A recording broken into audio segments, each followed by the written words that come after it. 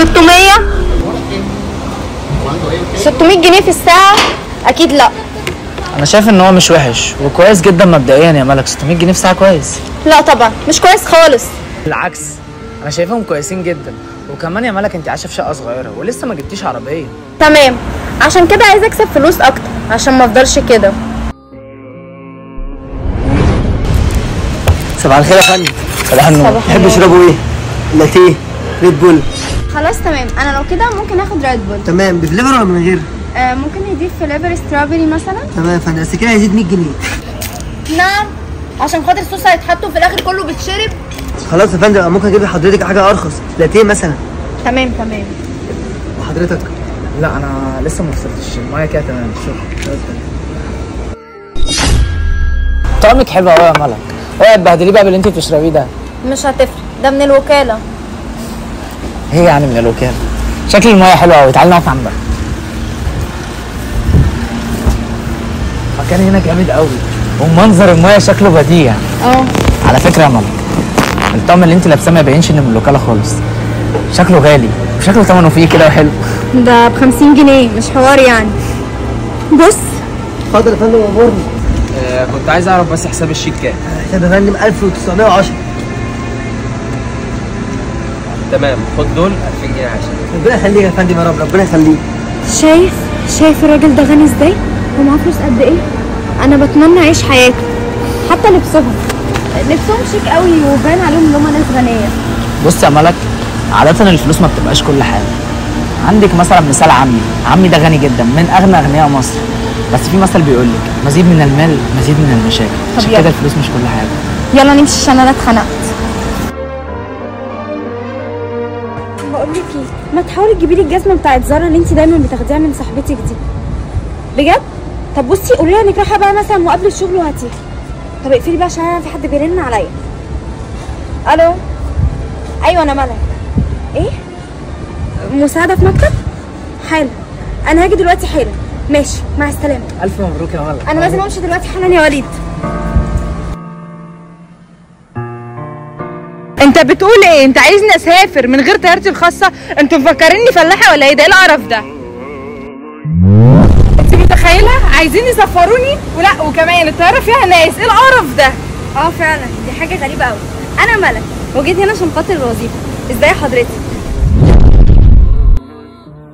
هو لسه في سلام بالإيد؟ ده أنا بطلته من 2010 بصي بقى عشان أنا أختصر عليك الوقت عشان أنا مسافرة. عامة أنا أي مكان بسافره هتيجي معايا إذا كان بقى باريس نيويورك أي مكان. وعامة 24 ساعة هتفضلي متواجدة معايا. واوعي تشتكي موافقة ولا لأ؟ انت شكلك مش موافقة بس عامة الوظيفة دي كانت بمليون جنيه في السنة. مليون؟ لا لا لا ده أنا موافقة جدا. أنا بس كنت بركز في كلام حضرتك. لحقتي يا بنتي بالسرعه دي تتعيني وبعدين بدأتي كمان شغل من ساعات. هي كده عبير سريعة في كل حاجة. أنا لازم أحضر الشنطة بتاعتي عشان إحنا نسافر على باريس دلوقتي. هتسافري يا ملك؟ آه هسافر. بس أنا عيد ميلادي بكرة. أوبس. معلش يا وليد أنا ما خدتش بالي. بس اوعدك لما أرجع هنحتفل بيه سوا. أنت كان لازم تشوفها. كان لازم تشوف هي شيك إزاي وحياتها عاملة إيه. هي دي العيشة اللي أنا بتمناها. حياتها هي حياة أحلامي. حياتها روعة. طب هل عبير دي انت تعمقتي فيها وعرفتي إيه اللي بيحصل معاها؟ حياتها الشخصية إيه اللي بيحصل فيها؟ هي قالت لي ان هي منفصلة عن جوزها وعندها بنت بتكرهها بس كل ده مش مهم. المهم الفلوس.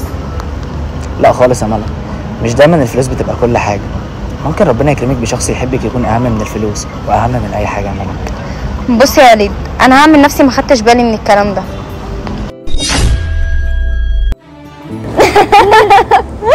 لا بس عايزة أقول لكم يا جماعة بجد باريس طلعت حلوة. عامة أنا هقفل وأفتح لكم لايف تاني. خدي دوقي إيه ده؟ الله. النوع ده غالي قوي. وأنا طول عمري كان نفسي أدوقه. شكرا قوي. إيه ده؟ إيه القرف ده؟ ده طعمه وحش قوي. هو أنت مفكرة إن كل حاجة غالية بتبقى طعمها حلو؟ طيب يلا بينا. والله لو أوريكي حيوان. في إيه يا عبير هانم؟ أنت متخيلة إن جوز الحيوان بيشبهني بالوحش المتعطش للفلوس؟ لا والحيوان بيكره بنتي فيا الفقير الحقير. سبب طالما دي واحدة مجنونة بالفلوس. سابت بيتها وبنتها وجوزها عشان خاطر فلوس وشوية جنيهين. حاولت أفهمها بدل مرة ألف إن الحياة السعيدة في العلاقة الحلوة مش مجرد أرقام في البنك. أنا بحذرك لله.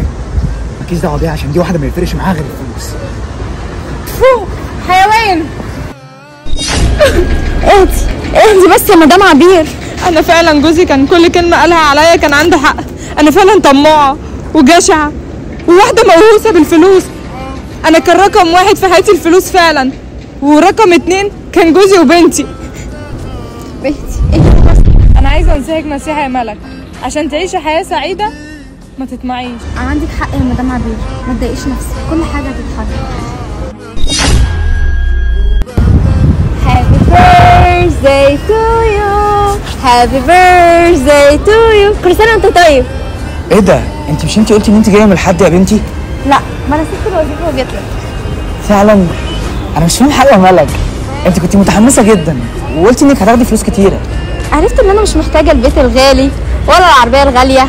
أنا محتاجاك انت وأنا بحب حياتي. وزي ما قال لي حد قبل كده السعادة ليست بالمال المزيد من المال المزيد من المشاكل. وأنا مش عايزة مشاكل أنا عايزاك انت. أنا عايزك انت.